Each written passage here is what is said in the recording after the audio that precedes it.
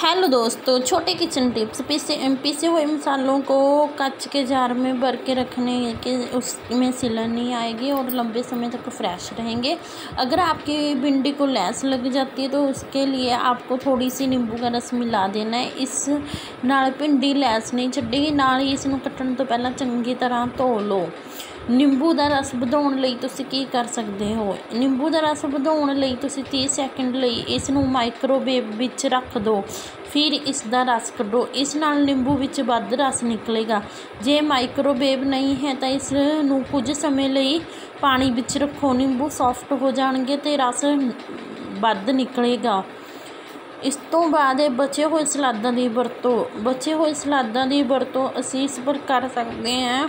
ਇਹਨਾਂ ਨੂੰ ਸੁੱਟੋ ਨਹੀਂ, ਸਗੋਂ ਇਸ ਦੀ ਪਿਊਰੀ ਬਣਾ ਕੇ ਆਟੇ ਵਿੱਚ ਗੁੰਨ ਲਓ ਤਾਂ ਕਿ ਫਿਰ ਇਸ ਦੇ ਸਵਾਦੀ ਪਰੌਂਠੇ ਬਣ ਜਾਣਗੇ।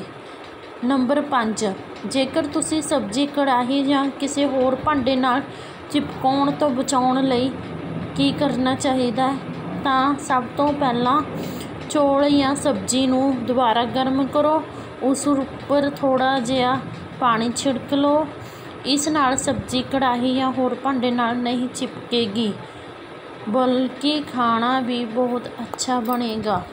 ਜੇਕਰ ਤੁਸੀਂ ਦੇਖੋਗੇ ਚੌਲਾਂ ਨੂੰ ਕੀੜਾ ਲਗਾਉਣ ਤੋਂ ਬਚਾਉਣ ਲਈ, ਕਿਉਂਕਿ ਗਰਮੀਆਂ ਦੇ ਸੀਜ਼ਨ ਵਿੱਚ ਕੀੜਾ ਚੌਲਾਂ ਨੂੰ ਲੱਗ ਜਾਂਦਾ ਹੈ ਤਾਂ ਉਸ ਲਈ ਤੁਹਾਨੂੰ ਚੌਲਾਂ ਨੂੰ ਕੀੜਾ ਲੱਗ ਜਾਂਦਾ ਹੈ, ਤਾਂ ਅਜਿਹੇ ਵਿੱਚ ਸਟੋਰ ਕਰਦੇ ਸਮੇਂ ਇਸ ਨੂੰ 10-12 ਲੌਂਗ ਪਾ ਕੇ ਰੱਖ ਦਿਓ ਤੁਸੀਂ ਚਾਹੋ ਤਾਂ ਲੌਂਗ ਦਾ ਤੇਲ ਦੀਆਂ ਕੁਝ ਬੂੰਦਾਂ ਵੀ ਕੱਟੇ ਵਿੱਚ